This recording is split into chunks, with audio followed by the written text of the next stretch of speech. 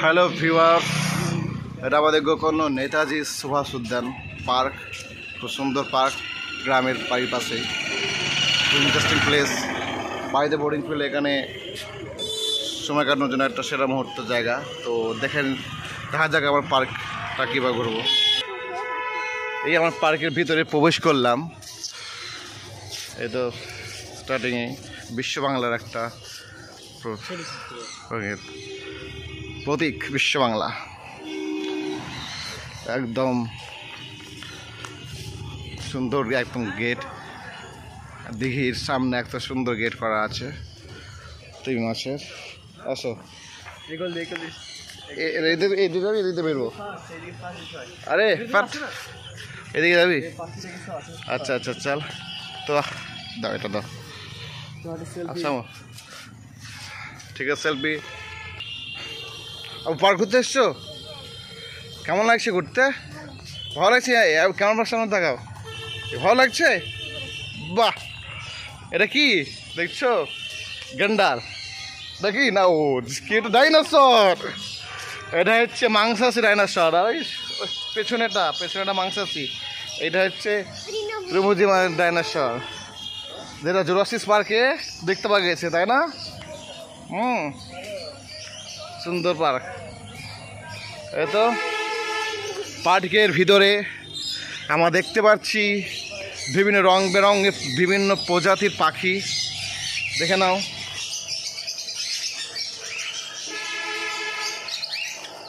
সুন্দর। পাখি খুব সুন্দর পাখি। পাখিতে খেলা করছে। ও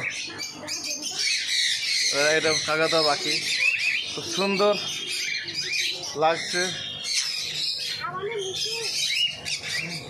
বাহ। দেখো, পাখি। রং বেরঙের সুন্দর পাখি।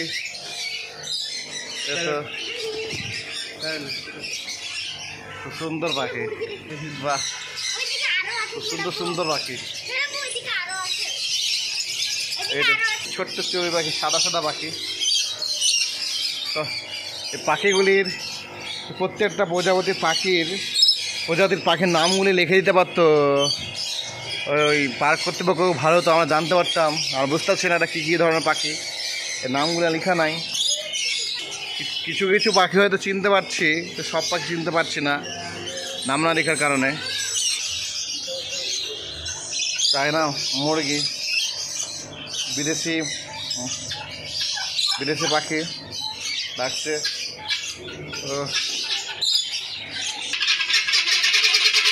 এই তো, আমার সাথে- আমার থাকো। বাহ পাখি চুমটা হবে। চলো। বিদেশি মুরগ মুরগি। বিদেশি মুরগি। সাপ। দেখাবো। একদম অজগর সাপ। অজগর সাপ। সাপটা খুব নিজের ইচ্ছায় খুব সুন্দরভাবে বালিশ গুঁড়োর সাথে খেলা করছে। আল্লাহ কত ধরনের যে প্রাণী সৃষ্টি করেছে সুবহান আল্লাহ বাহ আর ওটা লাইট আসার পরে সুন্দরভাবে দেখা যাচ্ছে। সুন্দর প্রজাতি, মাছ।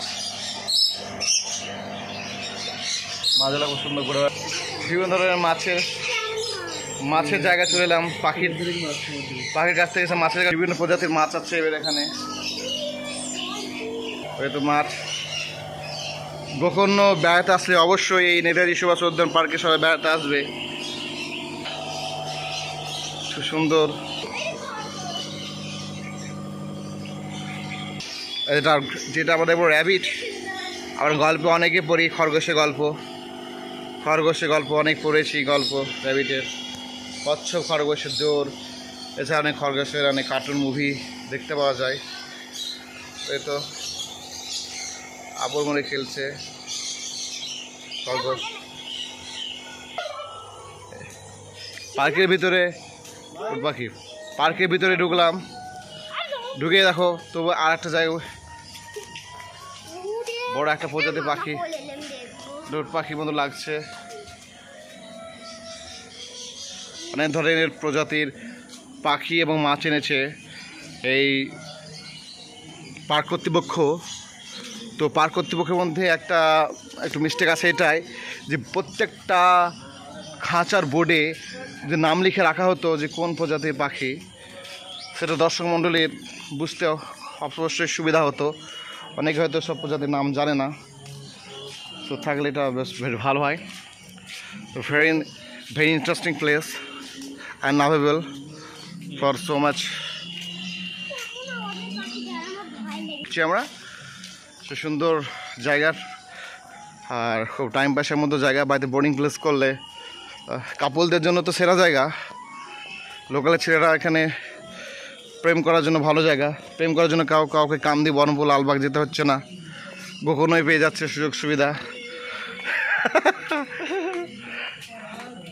ও মারে ও বিদেশিনী। ওই তো স্পাইডারম্যান দেওয়ালের মধ্যে ঝুলে আছে। আমরা মুভিতে সম্ভবত দেখেছি। আজ পার্কে এসে সেই স্পাইডারম্যানকে দেখা হয়ে গেল। আর খুব লাভেবল প্লেস এই তো সেই যজ্ঞু ভীমা কমল পেয়েছি, বানর। যজ্ঞু, ঢোলু, এই যে সামনে মোটু আর পাতলু তো আমরা চলে এলাম বিভিন্ন প্রজাতির ছাগলের কাছে। না না এটা বেশ ভাববে না এটা অরিজিনাল এটা কিন্তু ডুপ্লিকেট মূর্তি। সো নাইস অনেক ধরনের ছাগল আছে তার সঙ্গে ঘোড়া ছুটছে পাশে সব বাড়ি। তো বানর বানর মামা তাকিয়ে আছে আপনাদের দিকে। তারপর আমি সব থেকে একটা সবথেকে সুন্দর যে দৃশ্যটা দেখে নেব, সে দৃশ্যটা হচ্ছে, দেখেন আপনারা দেখেই বুঝতে পারছেন কি বলতে চাইছে।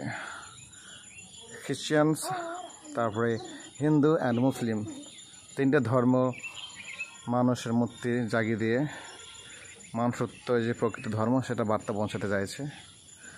আমরা ধর্ম ভেদাভেদ নিয়ে ঠিকাদারদের ব্যবসাকে আমরা বাড়িয়ে আমরা নিজে নিজেদেরকে বিভেদে চলতে থাকি। তো এটা ঠিক নয়। আমার সকলে ভাই, আমরা সকলে ভারতবাসী, আমরা সকলে ভারত মাতার সন্তান। আমাদেরকে একসঙ্গে, একভাবে থাকতে হবে।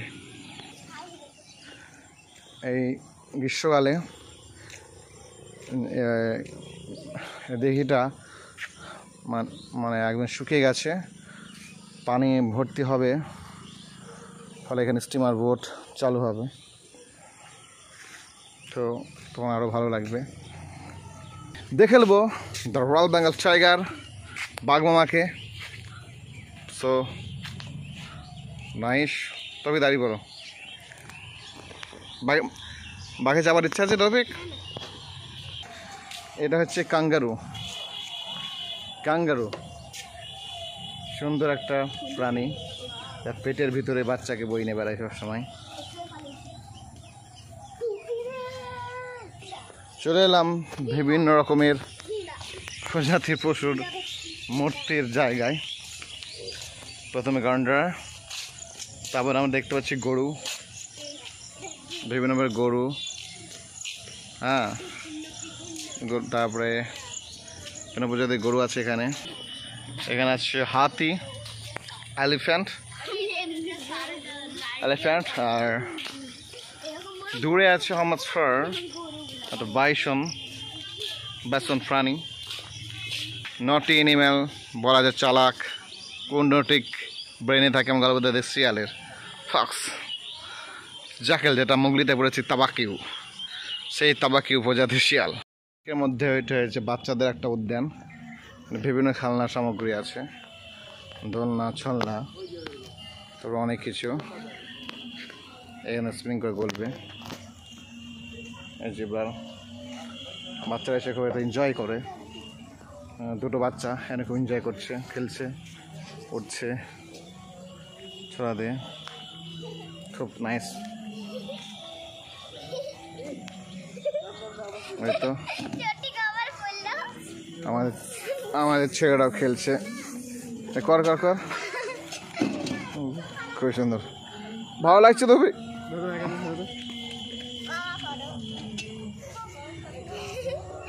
বাহ খুব সুন্দর লাগছে না?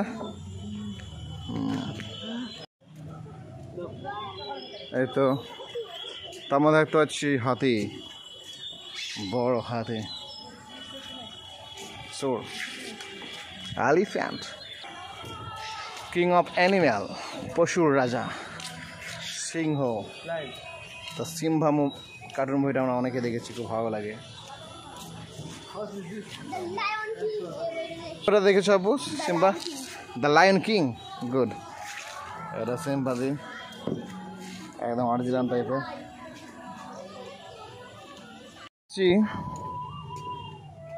লাইটিং অফ আছে। এটা দেখো, পানি পড়ে। সো কারেন্ট চালু করেনি। এখানে অনেক রঙিন মাছ। ঘোরাফেরা করছে। বুঝতে পারা যাচ্ছে হয়তো অনেকগুলি আছে। এখানে অনেক রঙিন মাছ। অনেক রঙিন মাছ আছে। বোঝা যাচ্ছে। পর্যন্ত ছিলাম আমি ঔরঙ্গজেব। আপনার সঙ্গে আমি নিজেও পার্ক দেখলাম। তার সঙ্গে সঙ্গে আপনাদেরকেও দেখালাম। সো ভিডিওটি ভালো লাগলে অবশ্যই কমেন্ট করবেন এবং বাকিদেরকে শেয়ার করে দেখাবার সুযোগ করে দেবেন। আর অবশ্যই সকলেই কান্দি থানা অন্ধগত গোকর্ণই এসে নেতাজি সুভাষ উদ্যান অবশ্যই পার্কে ঘুরতে আসবেন খুবই ভালো লাগবে।